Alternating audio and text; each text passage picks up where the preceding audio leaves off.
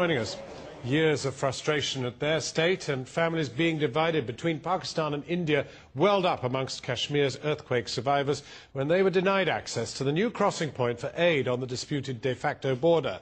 Four weeks after the earthquake struck Kashmir, India and Pakistan agreed to op open a single point at the heavily militarized line of control. After lengthy negotiation, tents, medicine, food were exchanged between the two sides. But when hundreds of youths on the Pakistani side threatened to rush against the border in the Poonch district, they were forced back by Pakistani soldiers who fired shots into the air and sprayed tear gas. Our Foreign Affairs correspondent, Jonathan Miller, was right there. Here's his report.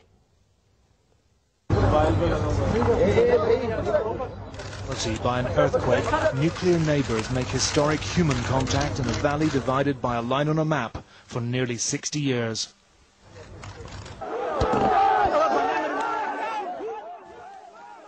But that is where the choreography ended. All of this watched by the brigadiers below.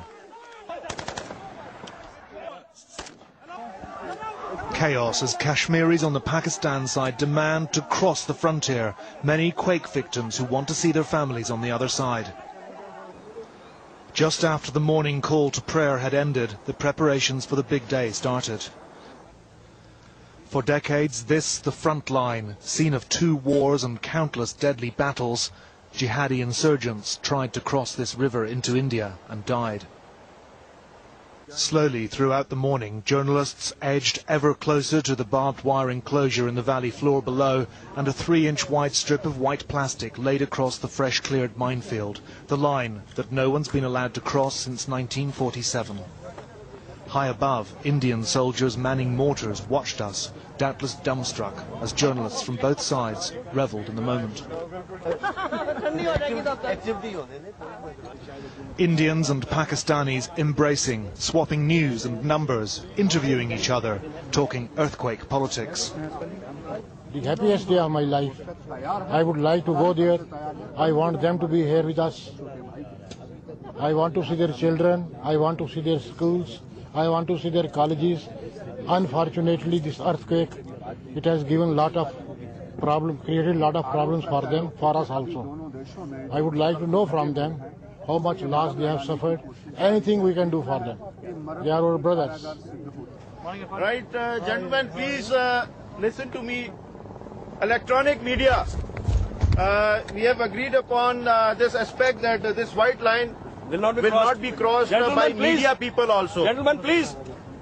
Right, so please uh, let's keep our words we'll keep our and words. help us in keeping our words. Keep to your side of the line of control. One foot in India, one foot in Pakistan.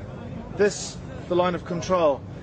It has gone from being one of the most controlled borders in the world to one of the most chaotic. This morning, journalists were mixing across the line. We've just been separated there by the Indian commander. He says we didn't want to start another war. How's it going in India? On the Pakistan side, crowds building. Kashmiris desperate to see family, divided by the line, now united by the quake in suffering and bereavement. They're kept well back. Inside the enclosure, they did the handshakes and organised the aid swap. 21 trucks from India carrying tents and rice and medicine unloaded into Pakistani trucks. From Pakistan.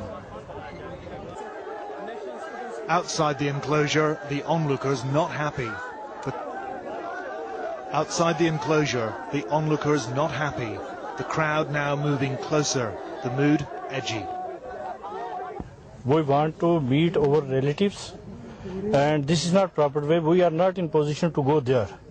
Uh, we are uh, half a century. We are waiting over uh, close relative. Uh, this is a, just like a drama to words uh, to say that uh, Kashmiris are going to here and there. This is only drama. This is want to say we, we can go there and meet with their relatives.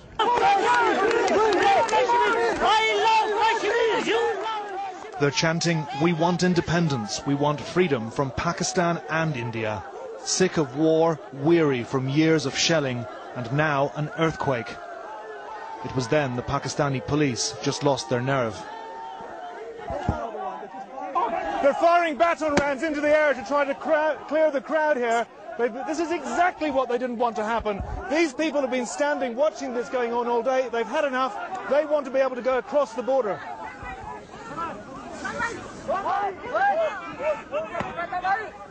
In India, deep suspicion of Kashmiri separatist sentiment.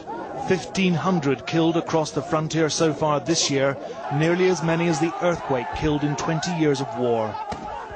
Today, not one Kashmiri civilian crossed the line. It was supposed to be a symbolic day, but these images a very different sort of symbol for both sides to digest. The symbol of a divided, restive region, politically unready for what humanity demands. Jonathan Miller, Channel 4 News, on the line of control. Hot right off the satellite. That's Channel 4 News. Good evening.